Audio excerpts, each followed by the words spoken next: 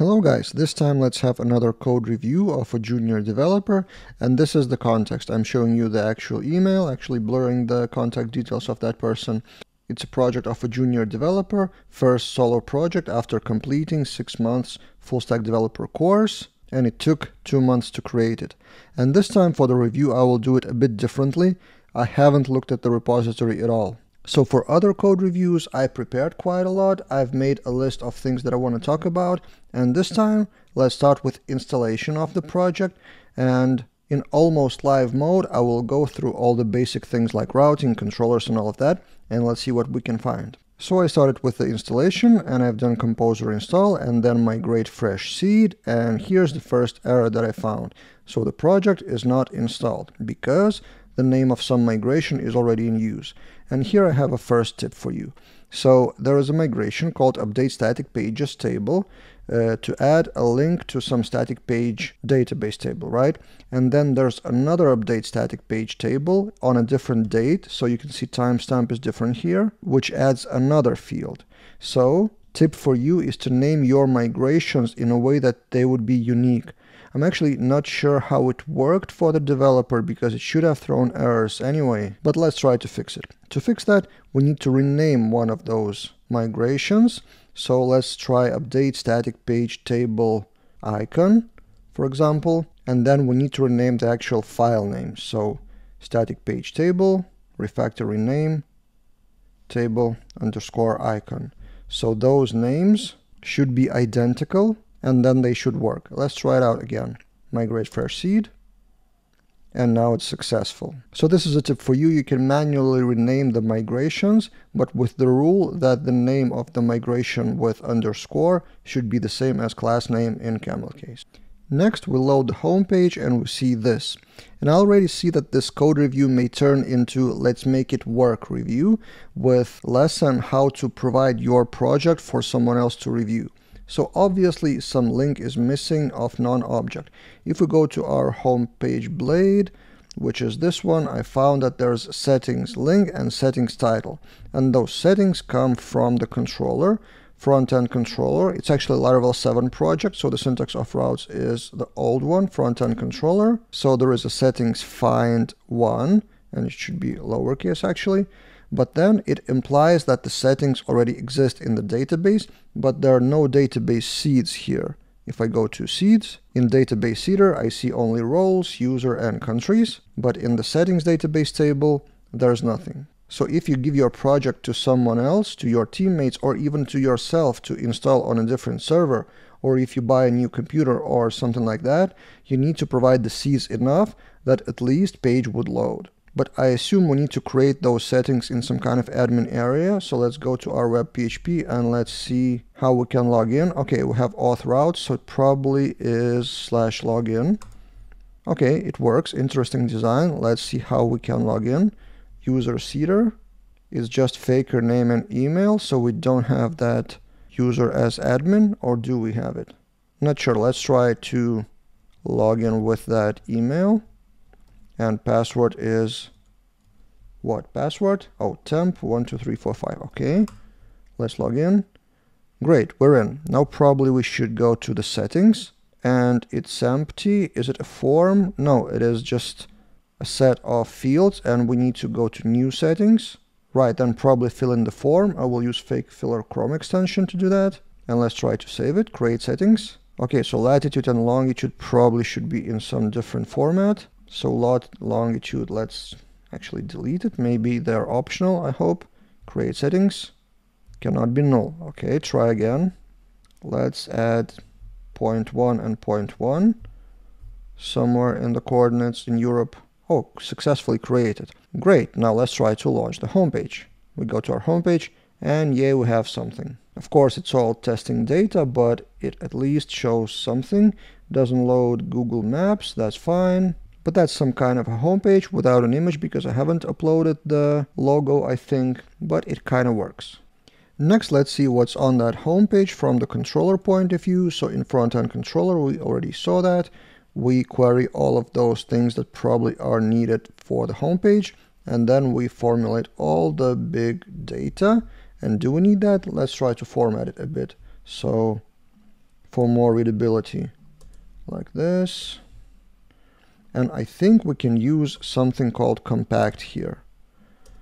So here those variables are the same as the keys and probably we could use compact or at least we can probably get rid of those variables. So instead of initializing the variables and use them only locally why don't we do something like this? So settings all here and then one by one slider all like this projects all.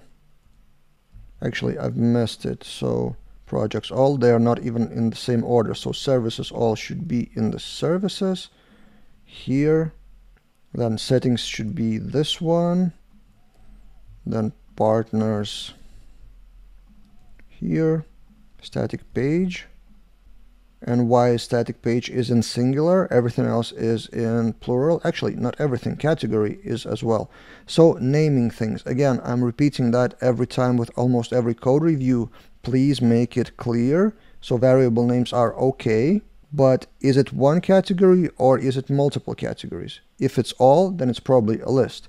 Same here. Static page static pages. It should be static pages and categories something like that so we made our controller shorter without temporary variables like this. And if we go to our home page, let's search for category. No, not that one. We don't even see the category here. Probably it isn't some kind of include. Not even sure. So probably some of those variables aren't even used on the home page. I may be missing something. But static pages, they are used here. So static pages like this. So another tip, don't provide the variables that you won't use. Next, let's go through all the other methods or some of the other methods in front-end controller and let's see what we have here. Project slug. I also see a lot of junior developers do something like this.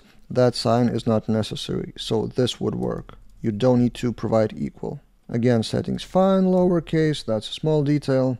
And again, setting up all the variable with this, so I won't repeat the same thing. I probably wouldn't set up a variable, although actually in this case it makes sense because it is used in other case. But then wait a minute, we are querying project and we are querying galleries of that project.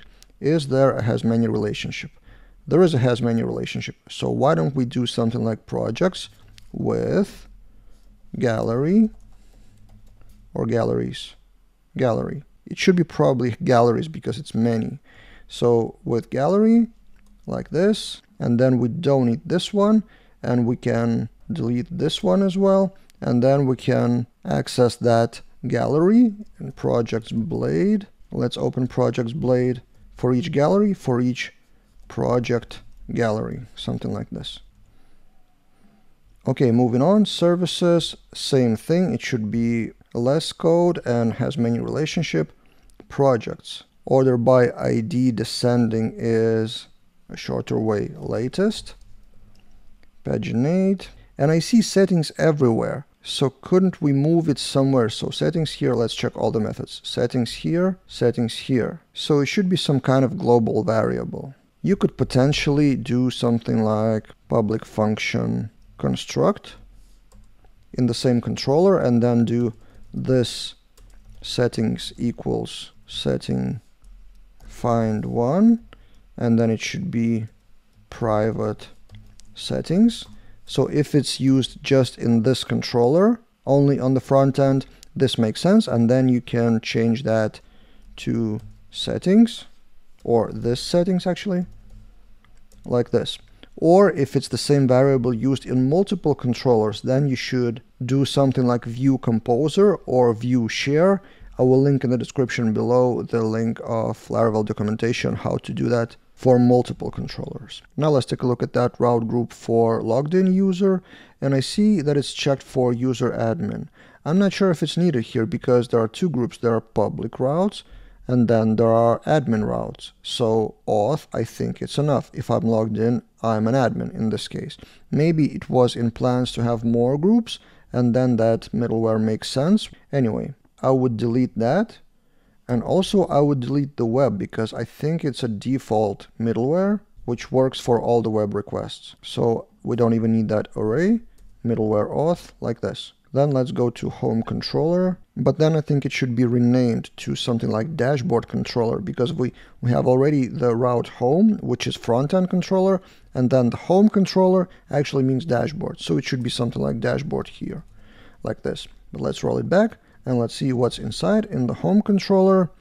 It's just a static page, so nothing to find here, but empty lines and code formatting. Uh, I will not repeat the same thing in every junior code review, but please read about PSR standard and how to format the code. So next, user controller. What do we have inside of that? Construct user middleware. No, we don't need that because it's already in the routes web here. And then in index, we have users. Again, we need to shorten the code. So let's do this. And we don't need that user's variable at all. Then we need to create a user. So we have roles here and we have users. It doesn't really make much sense to have users in the create unless there's a parent form of some kind. Let's open user create and let's search for users. Nothing found. So probably my guess is that we don't need that users. And again, the lesson is do not initialize variables that you don't actually need or use. Let's go to our users table, add a user, and it works. Then I saw briefly in the user create, form is used like URL user. I would vote that you would use route names. So route, user, store, I think the name it is. Refresh, it still works. And then instead of CSRF field, you can do it a bit shorter. Refresh, we didn't break anything, cool. Then in the store, again, empty lines, why do you need that? Validator make, and then if validator fails. This can be shorter. I'm a big fan of form requests, and you can see that in my other reviews, but if you want to initialize the validator manually, you can do it simple this validate, and then you put in all the request like this, and then that validator fails is done automatically. So that validator will automatically redirect back with errors and with input. So you don't need to do that manually.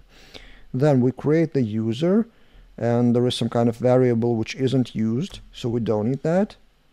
And that's it. Okay, then show empty methods. Don't leave empty methods if you don't use them. Edit the user. This looks fine. Update it could be done in a better way, so look for my other code reviews for update methods. But basically, instead of request all, it should be request validated, and you could use form request for that. And then destroy user, all good. Okay, let's take a look at other controllers. For example, let's take a look at static page controller. And I'm assuming it should be the same thing or similar things everywhere. Yep, most of the controllers probably are just CRUDs with some more logic like doing the slug. This is cool. Again, assigning the variables and doing the save. Instead of that, you can do something like static page create, like this, and then provide the variable like request validated. Uh, if you use form requests, I've performed that a few times in other junior code reviews, so please watch those. Okay, and all of the others are probably CRUDs, so doesn't make much sense for me to review again. Actually, interesting thing, image store. What is image store? This thing I like, that image store is a separate function in the controller, but not sure if it should be public or private if it's used only from the same controller. And then make the folder for original thumbnail and medium. Also I have a separate junior code review for the file upload, so you can watch that. I should probably advise to use Spatie Media Library package for this, which includes thumbnails and medium sizes and all of that, and it makes this all huge portion of code is a few lines in Spatie Media Library. So I guess that's it for this code review. All the other controllers are more or less CRUDs. Also file upload, pretty similar. Oh, image store is different from controller to controller, so that should be totally Spatie Media Library. It should not be image store in every controller. Okay, that's all that I have time for now in this review. Let's wrap up. I will link in the description below to other code reviews that I've mentioned in this video. So to avoid repeating myself, I probably should stop reviewing all the code from end to end and we'll start shooting videos on a separate topic or separate mistakes that I've noticed in the repositories of people who send me the repositories. But I will still have a few code reviews on this channel planned in upcoming weeks. So stay tuned, subscribe to the channel, and see you guys in other videos.